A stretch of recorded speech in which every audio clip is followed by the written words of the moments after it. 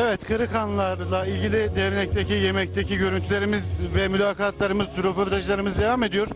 Az önce gerçekten görkemli bir havai fişekle devam eden e, çok anlamlı bir gecede, gecedeyiz. Kırıkhan Belediye Başkanımız Sayın İsmail Turan'la birlikteyiz. Hoş geldiniz diyoruz. E, Sayın Başkanım e, aslında Kırıkhan'da çok e, Kırıkhanlılar dernek olarak da çok anlamlı mesafeli bir yol kat etmeye başladı son birkaç yıldan beri. Neler söylersiniz Kırıkhan Derneği ve bu yapılan çalışmayla ilgili? Şimdi bugün İskenderun'umuzda bulunan Kırıkhan Kültür ve Yardımlaşma Derneği'nin bir açılış toplantısını yapıyoruz.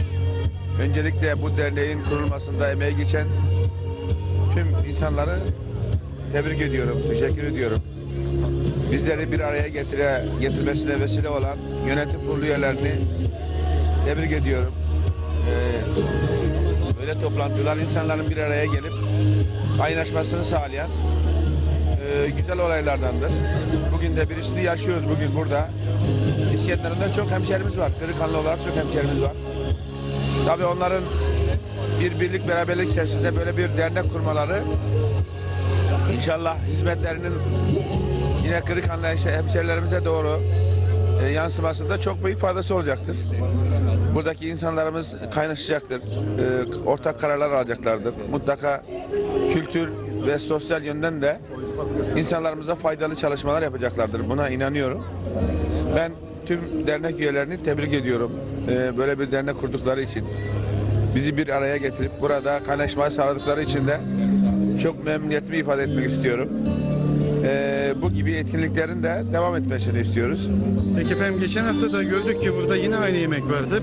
Kırıkhan'da böyle potansiyel yemekleri verilecek bir yerin olmayışı da ayrı bir sıkıntı. Ee, bunlarla tabii ilgili şimdi- neler söylersiniz? Bu özel sektörün yapacağı işler tabii. Şimdi burada tabii bizim Kırıkhan'da da böyle şeylerin olmasını istiyoruz. Niye Gerçi bura- istiyoruz? burası da hemşerimiz Kırıkhan'da ama Hemşerimiz ama ya Kırıkhan'da olması daha iyi olur. Çünkü oradan buraya gelen insanlarımız e, belli bir zaman kaybına neden oluyor. Ondan sonra masraf etmek zorunda kalıyorlar. E, işte araçlı olan insanlar e, araçla beraber gelip gitmesi de tabii büyük bir masraftır.